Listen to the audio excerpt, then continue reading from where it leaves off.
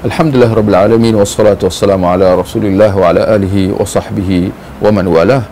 Uh, Kita maklum bahawa Apabila tiba bulan Ramadan uh, Bazar-bazar uh, Ramadan Akan uh, meriah Dengan juadah-juadah Berbuka puasa yang beraneka Macam dan jenis.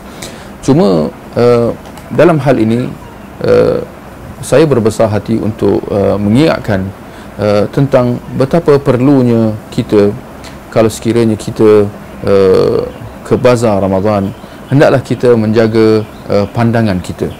Hendaklah kaum lelaki menjaga pandangan mereka kaum wanita menjaga pandangan mereka. Bertepatan dengan firman Allah wa qul lil mu'minina yaghuddu min absarihim.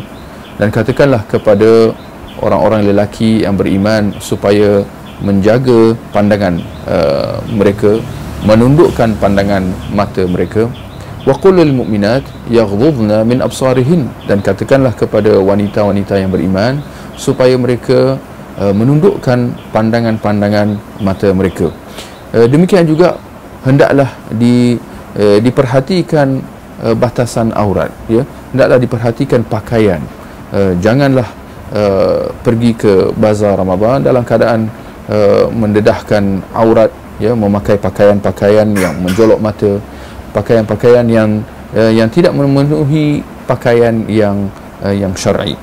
Uh, demikian juga ada adab pergaulan hendaklah di, di dijaga kerana kita tidak mahu mencemarkan kesucian bulan Ramadan dengan perbuatan-perbuatan uh, dosa seperti ini yang jelas akan uh, sedikit sebanyak mengurangkan pahala ibadah uh, puasa kita. Demikian juga uh, saya berbesar hati untuk mengingatkan tentang kalaulah dapat di dijaga bazar-bazar Ramadan ini jangan dicemarkan dengan uh, bunyi dentuman-dentuman muzik ya yang hingar-bingar dengan muzik-muzik yang uh, tak sepatutnya. Uh, saya mengira bahawa ini semua adalah uh, hal-hal yang uh, tidak wajar dan uh, ia akan mencemarkan kesucian uh, bulan Ramadan.